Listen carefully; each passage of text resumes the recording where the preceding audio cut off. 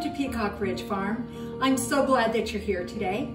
Today I am going to show you how to make a pear burrata salad. This salad is so incredibly easy, it's delicious, and it's elegant. Here are the ingredients that I'm using for this salad today. I have fresh Bartlett pears, some honey, some fresh burrata cheese, and some sliced almonds. Let's get started. First, I'm starting with a Bartlett pear. Just slicing it in half and getting the core out. And then I'm just going to slice it thinly. So with my pear slices, I'm now just going to arrange them around a plate. And then I'm using some fresh burrata. You can just get it at your local grocery store in the cheese section.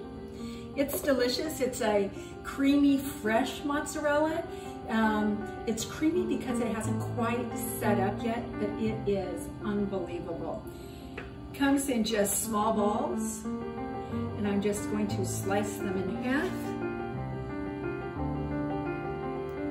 and arrange them on my plate.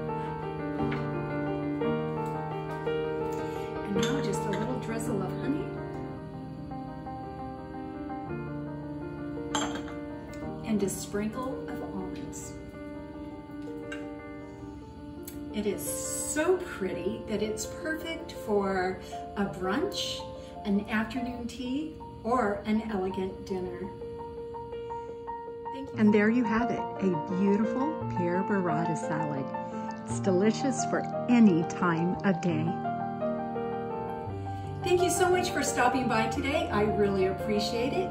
Please follow me on facebook.com slash Peacock Ridge Farm, on Instagram at Peacock Ridge, on Pinterest and YouTube. Blessings to you.